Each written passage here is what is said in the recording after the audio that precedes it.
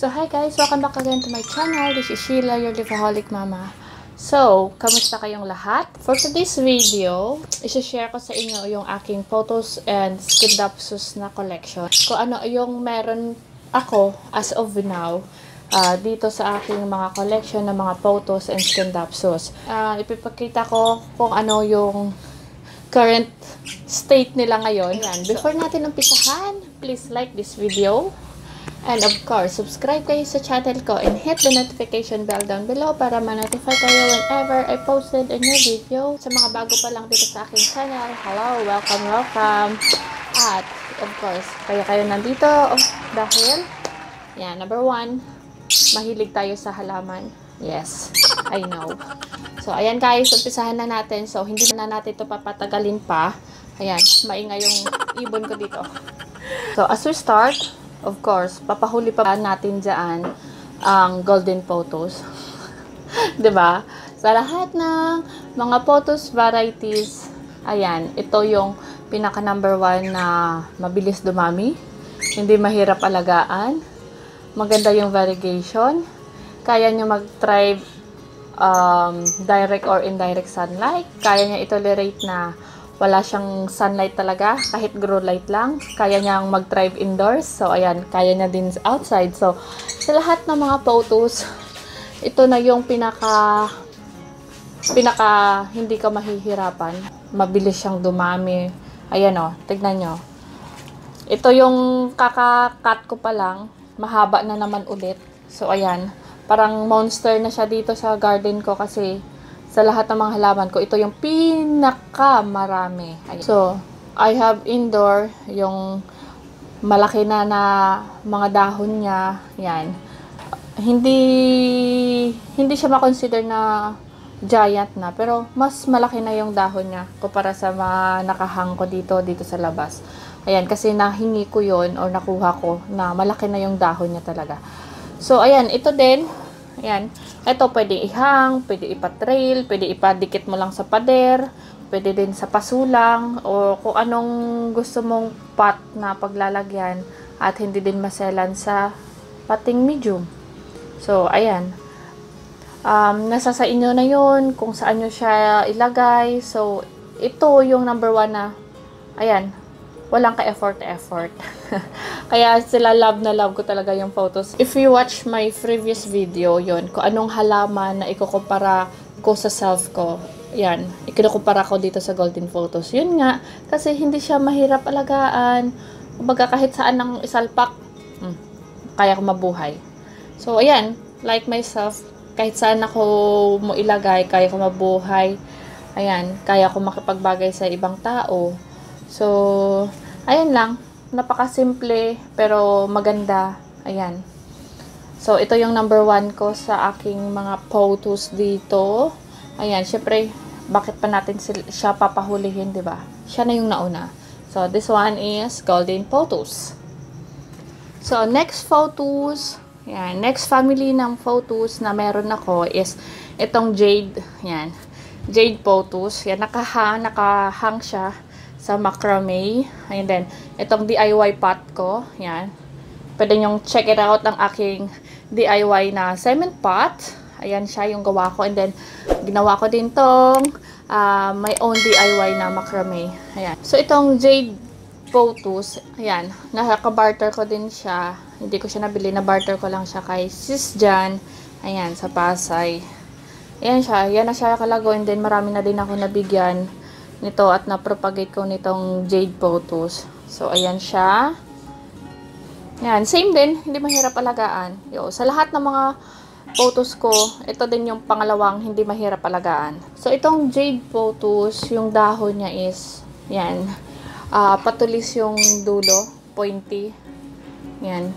Parang kagaya lang din siya sa, ano ba, doon sa Brazil. Yan. Pero ito, pure green lang siya.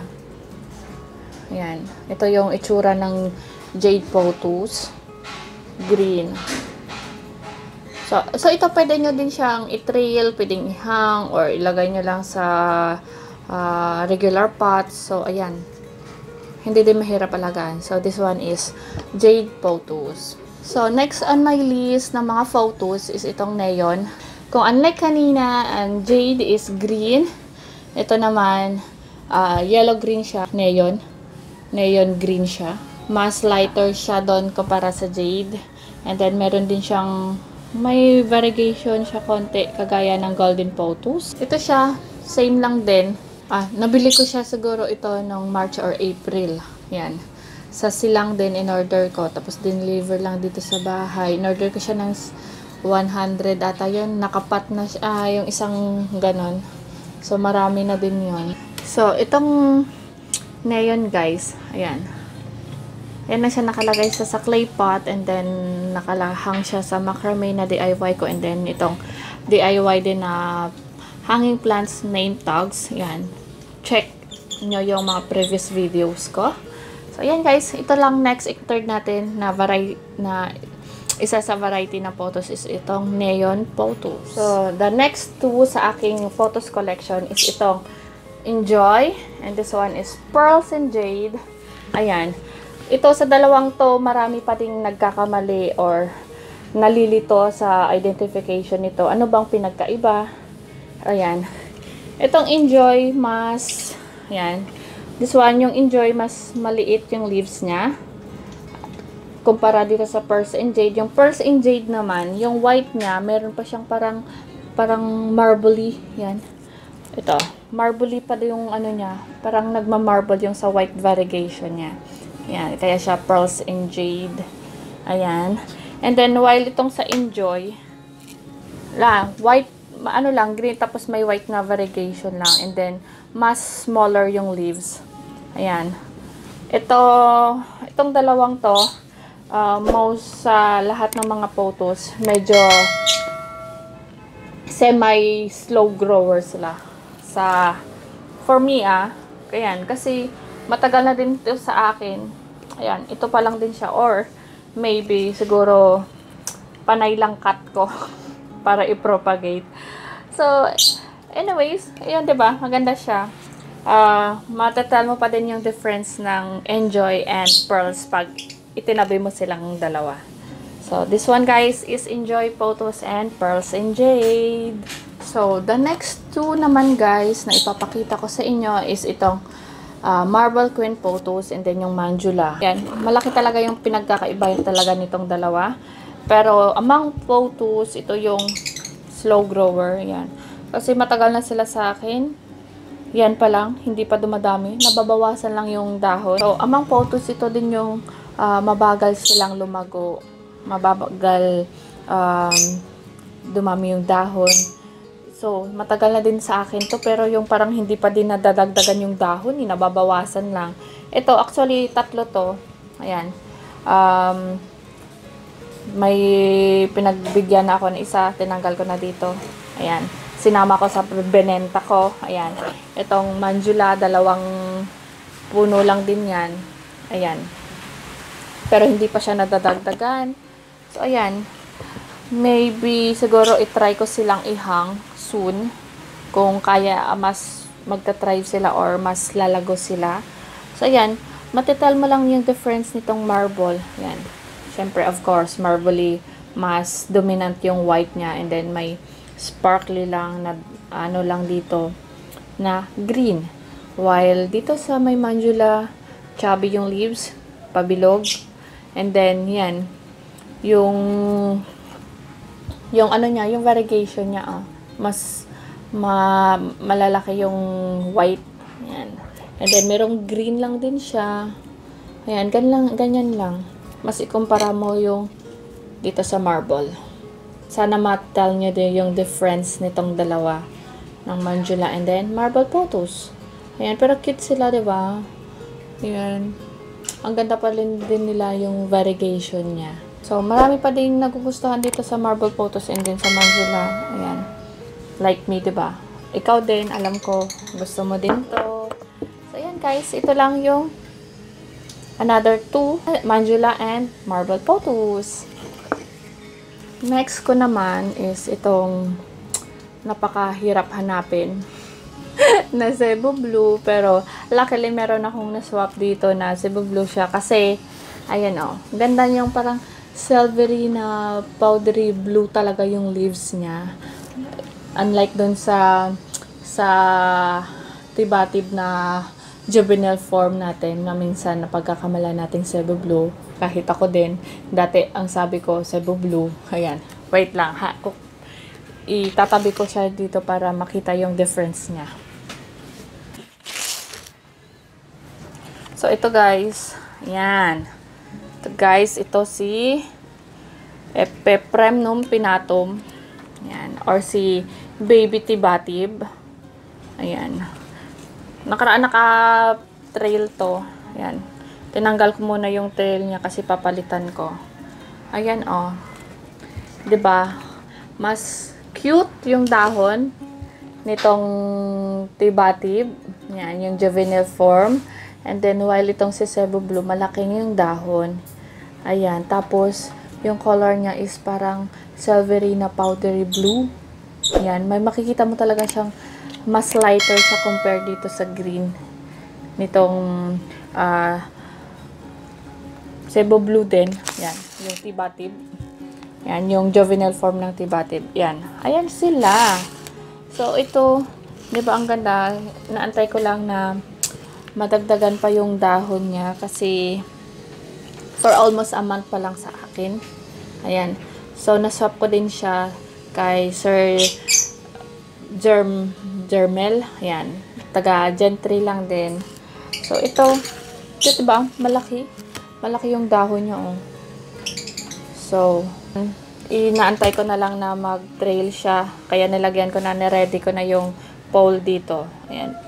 Pero so far, may nakikita na ako dito na mga palusot na. Ayan, new shoots niya para kahit pa paano paunti madagdagan yung yung ano niya, yung vine niya para paikot na lang natin din lalago na, dadami na yung dahon. So ito guys, this is Cebu Blue Potus. So, yung next ipapakita ko is sa Skindapsus family naman. So, so far I have two. Two. So, ito guys, ang aking dalawa pa lang ang meron ako ng Skindapsus family. Itong uh, Trio, Triobiae Moonlight. Yan. Moonlight na may two leaves. Yan. Naswap ko lang din kay Ate Ayan. And then itong uh, Skindapsus na Exotica. Yan. Ito yung isa nakahang.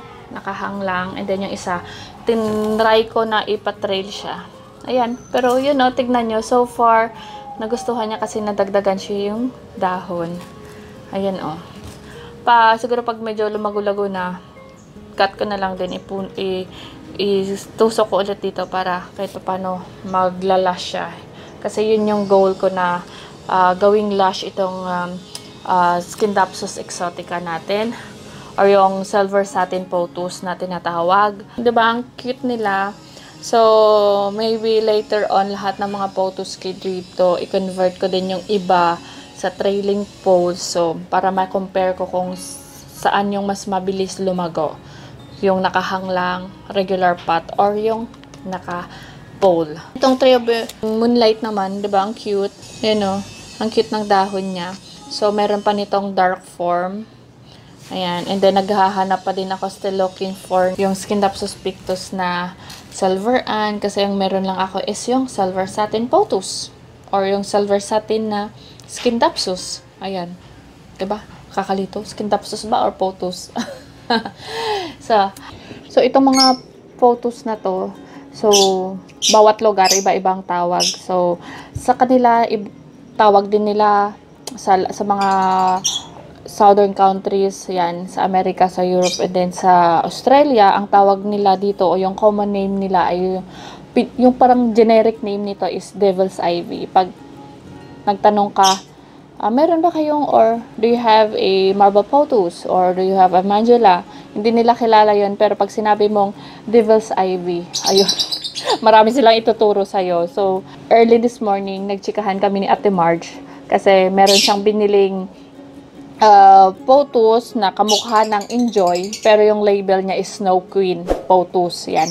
Kasi yung tawag sa kanila doon, sa mga, yung may variegation na mga, yung variegated na, na photos, common name lang na dyan is Snow Queen. Yan. Kasi, kung hindi mo alam yung pagkakaiba, sabihin mo, ah, okay, Snow Queen. Yan. Pero, um, kagaya nitong Enjoy and then yung Pearls and Jade, pag hindi mo talaga tinabi, sasabihin mo lang Enjoy siya. Yan. So, yun yung picture na sinend sa akin ni Ate Mar Marge para ma-confirm niya kung enjoy nga ba or Snow Queen. So, yan. Kahit ako din nalito. Ayan. So, um, upon discussing, yun, nagsisearch sa Google, we found out na, uh, laman ko na yung picture niya or yung halaman na nabili niya is isa siyang glacier photos yan. Mas bigger yung leaves, yan, mas dominant yung white na um, variegation sa dahon. Unlike dun sa, dito sa Enjoy Photos. Enjoy kasi maliit lang yung dahon na medyo pahaba. Sa Glacier kasi medyo bilugan konti and then mas dominant yung white na variegation kaysa sa green. So, yan lang. Hi, Ate Marge. Ayan, nag-enjoy akong kamustahan, nagkakamustahan sa'yo at chika-chika lang. So, yan guys. So, siguro kilala nyo na din lahat kayo. Kilala nyo na si Ate Marge Marge Santillan na channel. Ayan siya si Mother Queen Succulent. Ayan marami siyang succulent cactus. Ayan ngayon uh, she's into photos na collecting photos na din. And yun yung mga English ivies so ayan guys so pwede nyo din i-check yung channel niya visit nyo. Ayan, marami siyang videos. Uh, she's located in Australia. So, ayan guys. Ayun lang. Chika-chika na naman. Napahaba na naman yung chika-chika ko sa inyo. So, ayan. Yun, mas maganda kasi may kausap tayo kahit online lang. Yun, virtual uh, na kausap. So, ayan guys. Sana nag-enjoy kayo sa aking chikahan today. So, ayan guys. So far, ito pa lang ang aking photos and Scindapsus collection sa ngayon. So, I'm still looking for um, glacier photos, sa sleeping photos, sa Godzilla, sa Silver Ann. Ano pa bang wala dito? So, ayan. Marami pa. Actually, maraming photos family tsaka sa Scindapsus. So, hindi ko na isinama dito yung neon, yung jade, tsaka yung golden kasi, ayan, hindi na kasya dito. So, ayan guys. So, sana nagustuhan nyo ang aking collection. Of course, kung nagustuhan nyo, like nyo this video. And of course, pwede kayo mag-comment sa comment section box kung ano ang meron na kayo sa collection nyo or kung ano pang wala na yon yung wish nyo na magkaroon kayo. And of course, subscribe kayo sa channel ko for plant-related videos. And of course, para masabaybayan nyo what's next. And guys, thank you and see you soon. Bye.